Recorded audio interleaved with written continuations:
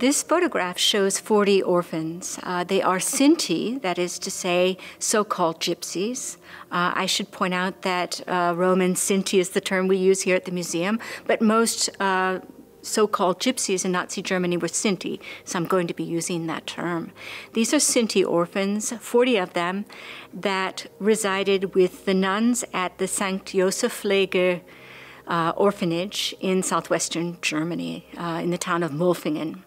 It's a sweet photograph, but this photograph has a very dark context because these children were the test subjects of a young woman named Eva Justin.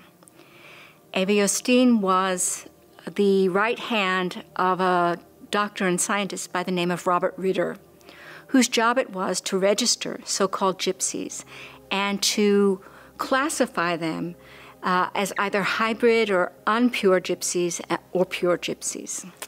Uh, Ritter used a team of individuals who included Eva Justin, to, who sp spoke Romani, who uh, infiltrated these Roman Sinti communities, uh, who interviewed them, took their blood tests, um, did all kinds of physical and um, psychological evaluations on these individuals in order to classify them. But their work had very deadly consequences because most of the Roman Sinti that Ritter saw, he classified as hybrid gypsies instead of pure gypsies. And when the Reichsfuhrer SS Heinrich Himmler came out with his Auschwitz decree in December of 1942, he ordered that all hybrid gypsies, so called gypsies, would be sent to Auschwitz, exempting those Roman Sinti who were pure according to Ritter's calculations. Himmler envisioned a sort of a museum feature in which pure gypsies would be featured. It's a kind of a, um, a museum piece, if you will.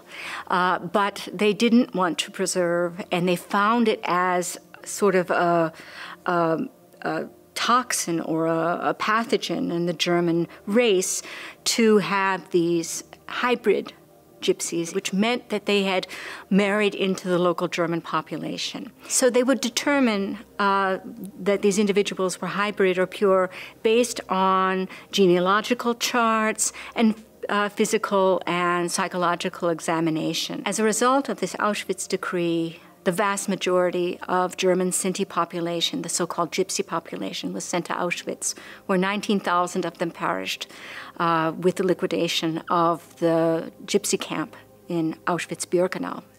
But one special pod of these Sintis were set aside, these children, because they were the test subjects of Eva Justin. She was a trained nurse, but she was getting a doctorate at the University of Berlin in anthropology, and her study was based on these children. So the children were shielded from the deportation to Auschwitz and kept in this orphanage. And on the day Eva Justin was granted her PhD in anthropology, these children were sent to Auschwitz. All 40 of them, and the vast majority of them perished.